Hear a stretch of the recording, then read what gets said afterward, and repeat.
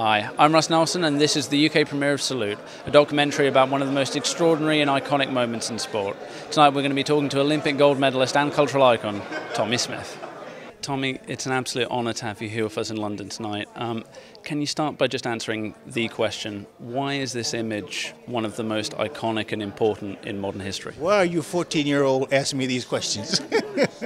uh, on a serious note here, it is very necessary for us to understand the, the act of equality. Uh, and Salute certainly deals with uh, social equality in the human rights issue. Uh, OBV, the, the Operation uh, Black Vote, brought me here to to to identify in this movie needs for people to understand. You put these two together, you have power. I mean, we're talking about power here in this country, which is which is which is which is an assault on anyone else who's thinking about human rights. Come on, listen to this. Peter Norman in Australia, deceased now, stood on the victory stand with two of the most identified people in America. Uh, we're talking about uh, sports sports people now, in an iconic stand, and he was vilified going back to his country because of what he did, not because of what he believed in. I don't I, I don't believe it. What he did stood on the victory with two black athletes, and most people know how Australia deals with black folks. Okay, so I think that uh, it's necessary, young'un, to understand that he sacrificed because he believed in right of humanity, of human interest, of human interactions. Same as John Carlos and Tommie Smith. So view the movie. It's a docu. It's a docudrama. And listen to the words, and you'll find out there's a story that you have never heard before. I can guarantee you that. This one moment obviously touched the lives of people all around the world. Um, can you talk about how it affected your life? It, it, it actually uh, started before my life. My life started before this film. Uh, my life started before Mexico 68. Uh, the film is because of what happened, because of what happened. The victory stand happened because of the necessity of what wasn't happening. And that was identifying factor of that difference. We went to Mexico City to, to, to compete but our competition, and I might I add, unfortunately, had to be abused by the need for us to make a stand against racism, against inhumane acts, and against civil abuse. And uh, I've, been, I've, been, told several times, uh, Tommie, uh, you shouldn't have used your, uh, your athletic career to uh, do that on the victory stand. But their backs are turned on progress. Their Neanderthal thought, thoughts is what bringing us down in the first place. And I can go to other foreign countries and say this same thing happened to that that brought them down. Look where they are. But I won't. I'll just stick to the America and what Tommie Smith and John Carlos did. We sacrificed because there was a need. Two young black athletes making a stand against racism, against inhumane acts, which had been started. Started, you know. There was a lot of riots going on different campuses. A lot of wars going on. Uh, Vietnam War, everybody knows about it. The Muhammad Ali situation of him not his gold medal taken away and, and him downdrafted. Uh, the apartheid situation in South Africa. In our country, uh, the uh, the uh, needing of high, needing to be hired coaches in, in, the high school level and the college level to represent the minorities, something that uh, is happening here also, and I think most people know what I'm talking about when you're talking about blue and red, uh, the identification of what needs to be because minorities are also involved on the playing field. So we still need work, simple and clear. And if we can identify the need to work proactively, the work of nonviolence, I think this would be a better place to live. And God bless the planet. Do you have a message for young people before you leave? Is anything you'd like to say to them? Think, think have faith, which is the substance of things hoped for, the evidence of things not seen. But without work, without work, faith is dead. Thank you so much, Tom. It's an absolute honor. Can you start by telling us just what does this image mean to you? Well, it means a great deal. You know, as, as a young man, when you see this giant of an athlete, Tommie Smith, stand on the podium, six foot five tall, bowed head, raised fist, it says to you, as a black man, as a black community, we're strong. We are full of dignity and we can confront anything that comes our way. It's a, a wonderful image, it's an iconic uh, gesture that here we are 44 years later still talking about it. Why do you think the image has endured in our minds that long? Why, is, why does it still feel so culturally relevant even today? Sure, it's, it's so powerful. You know, that he's not shouting, he's not acting. It is a powerful, silent gesture that means so much. A number of things, really. The times, the, the 60s, 68, Martin Luther King was assassinated, Robert Kennedy was, there were riots in America, the Vietnam War. And here was a man the fastest man on God's planet, who said, It's not about me, it's about others. There hasn't been a gesture like it since, and I'm not sure whether we'll see one in the future. It, it is so special. I'm glad two weeks before the Olympic Games, we can bring him here to our metropolis to, to, I guess, give that legacy, that Tommie Smith legacy that says be strong, be fantastic, but also have integrity, also have humility and the courage to make a difference.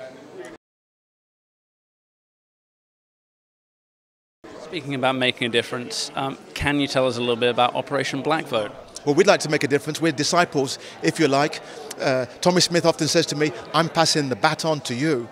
Uh, the baton uh, of challenging injustice, social and racial injustice. I'm proud to take it. We seek to politically empower our communities, African, Asians, and Caribbeans. Uh, we seek to challenge the institutions to be more inclusive, more representative, more dynamic. And here's the thing when that occurs, everybody benefits. You benefit, I benefit, society benefits from affording its citizens greater equality. We obviously couldn't agree more. Um, it's sad that you only have to look at the current headlines to see how uh, prevalent racism is still in our society. Um, why do you think it is that we just don't seem, as a nation, as a world, to be able to purge ourselves of this evil? It, far too often, I would argue that we're in denial. We're in denial on the way that we uh, subtly discriminate, overtly discriminate, and uh, I don't know. I don't know why it persists. I would like to shake some people sometimes and say, you do yourself an injustice by holding talent back. You do yourself an injustice by abusing someone for no good reason. It reflects more on you than on those. But the, the effects, the penalty, is so truly shocking uh, that, uh, you know, in 2012, we're still looking back on the life of Tommie Smith and saying, how could that happen? Looking back, obviously, the actions of Tommie, John Carlos, and Peter Norman created an intense debate about uh, whether or not sport and politics should be separate, whether or not they're part of the same world. Um, what, what's your opinion on, uh, or what would you say to people who say, oh, you know, the, the two are, are, are two different worlds, they should never mix? Look, it's not an either or. It's about your, your own consciousness. What you feel, what you need to do, you have to do it whether it's in a sporting arena, political arena, work arena, artistic arena, you need to do it. It's a question of conscience. And if your conscience said you have to stand up and be counted, you have to shout, you have to raise your fist, then do it. Final question before we let you go and enjoy the rest of the evening. Um, if people want to have uh, access to more information about Operation Black Vote, where can they go? Where can they get those details? Mm. Well, if they go onto the uh, website www.obv.org.uk, you can find out a, a lot more about an organisation that seeks to, I guess, like Tommie Smith, change the world uh, not just for African, Asians, and Caribbeans, but for the whole world. It's fantastic to have you here with us tonight. Can you start by telling us a little bit about what this image means to you and why you think it continues to inspire people so many years later? Well, I was watching this in the 60s because I'd only just started my athletics career then. And so it was really important actually. But I, uh, for me, the Olympics was the, the dream that I always wanted to, to get to and compete to. And so to see Tommie and his colleague running was really inspiring. Is you know as black people running there on such a stage. Um, when the salute was done, uh, I, I didn't really quite understand more or less what was happening because I was young at the time. But after that, you get to understand and know. And yes, it's, inspira- it's in, in inspirational mainly because everybody needs you know a little bit of in, inspiration, but also I think it will still reach to some people who needs to find that sort of bravery in the sense because it was a very hard hard thing to do. And I'm not saying that that is just that's the way one should do to find the bravery inside, but um, it's, it, it's inspiring to people also that when one needs to have a freedom of speech, when you need to live the life that you want to live, it's important to do that. And also in Tommie's case, and, and, and also the book, and also what the film will say, is more or less saying, we're living in America, we're living in somewhere that I am chosen to run for my country, which I call my country, and yet I cannot go and walk the streets or share the bar or something else with another, with white, black, white, you know, all people together. And so that makes you feel a little bit, I'm sure it must have made you a little bit suppressed. So it would inspire people to say, no, you know, life shouldn't be like that, you know, and, and you must be able to work together as one. Let's try and work together as one. So, uh, you know, it's, it, there's so much more to it. And also, I suppose people just want to be good. They are Olympians, they won gold medals, and people want to be Olympians and win gold medals. Much progress do you think we've made in tackling racism since that time, and how valuable a role do you think sport can play with the next generation in coping with those kinds of issues? I say it's, I think it's very sad that racism is still rife around the world. I think Britain itself has done a lot to tackle the situation, but um, how much is still there? I can't put a number on it.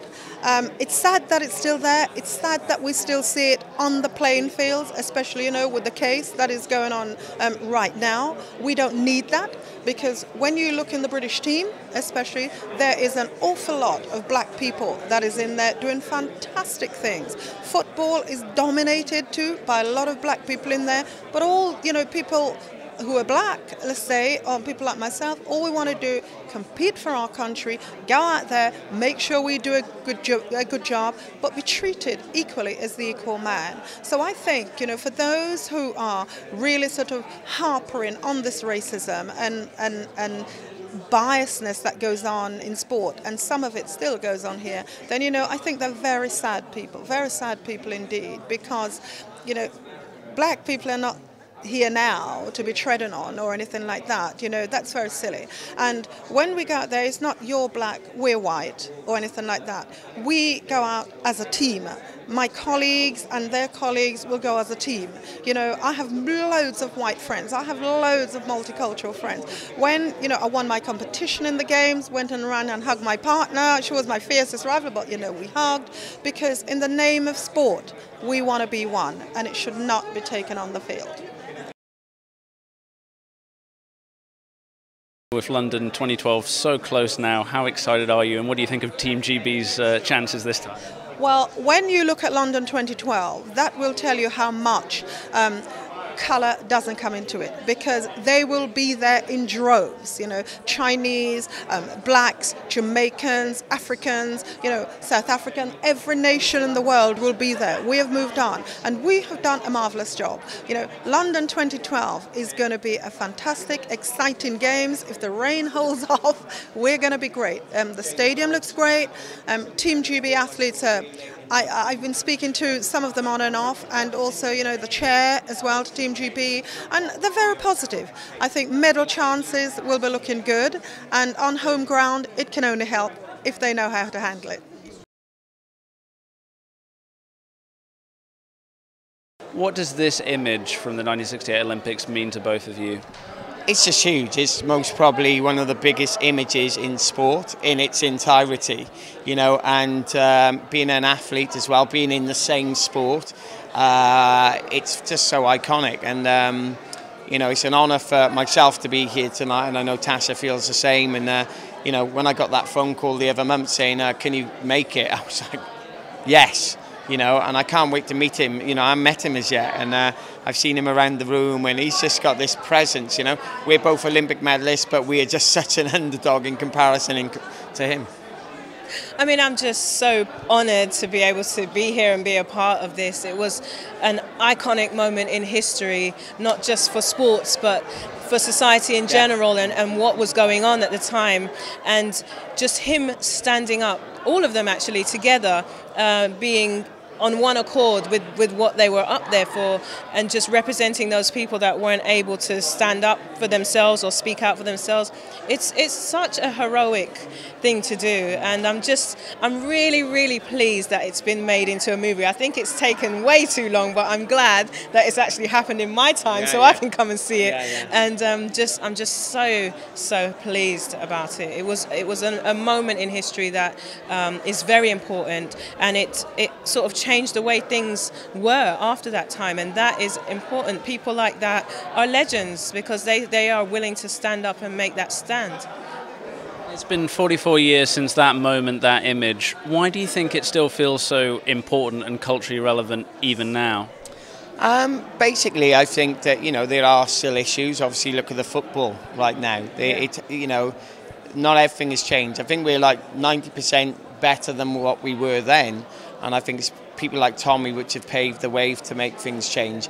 Um, so to me, I think the reason it's powerful, I think it is the right time now to bring this film out because people are just sick and tired of it now. I think the general public, are, you know, the racism, people are just, you know what, it's not good. I go into schools all around the country and. Um, you know, interracial schools, and you can see just everyone's getting on more now, and this and that. And you know, I think this sort of um, movie, which is a true representation of what really happened. I just think it's perfect, and I think everyone needs to see it. Sit down and uh, stand up and be counted for.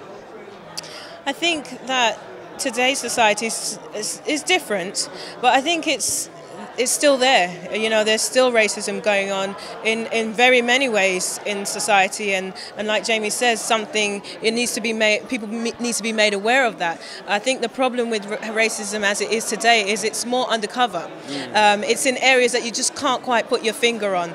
Is that woman um, rude to me? But nice to the lady next to me because I'm black? Is is that person screaming out of their window at me because I'm black? Is did I get eggs thrown at my door because I'm black? You just don't know. I mean, there's there's a lot of sort of undercurrent things going on, and I think um, even when people are asked, you know, you you you'll have the football match, you'll see the the person in the crowd doing the monkey thing, and then when you ask them, "Are you racist?" No, I was just scratching my armpits. I think it's time for people to be honest about how they feel, so we can talk about it. Because as long as um, people who are racist are in denial that they're racist, and black people still suffering, or, or people of any whatever the causes that they're against, um, there can never be a conversation. And if there's not a conversation, there can't be education. And I think education is what's going to sort of stamp out racism. It will never be completely gone, but we can reduce it by educating people on, on why do you have these views? You know, why do you hate someone because they're a certain shade? Where does that come from? And when people start talking about it, I think they'll start to realize that it doesn't really make sense. But no one can have that conversation until people are honest about their thoughts. I think at the time and even today, there are still people who criticise um, Tommie and the rest of the guys for using a sporting event to make a political statement. But I guess the question is how valuable and vital do you think sport is as a tool for teaching children about tolerance and about teamwork? Yeah, well, you know, sport, music, entertainment is the biggest medium in the world to. Uh, to voice uh, your opinion, and I think you know the Olympic Games is most probably the biggest thing on the planet, and I think at that time it was definitely needed. You know, um, if Tommie didn't do it, who else could, you know? And um, I feel at that time it was something, like I said, which was needed. I think it's it's made people think a lot more, and the reason we're 40 odd years on and um, you know we can still talk about that moment is because of how powerful it was. So you know. People can criticise. You're always going to get negativity. It's not, not everyone's going to go, oh, "Good job," you know. I mean, you know, I was just chatting just now to somebody and saying that, you know, could I have done something like that? You know, your moment in time, the moment, you know, we've both got Olympic medals, we've both been on that rostrum, and to be able to give up that moment for you and give it to everyone else is amazing, and that is mind blowing. And, uh, you know, I think Cathy Freeman in the 2000 Olympics, you know, winning that. Um, for her country, I think was again another life-changing moment. I was in that stadium at the time.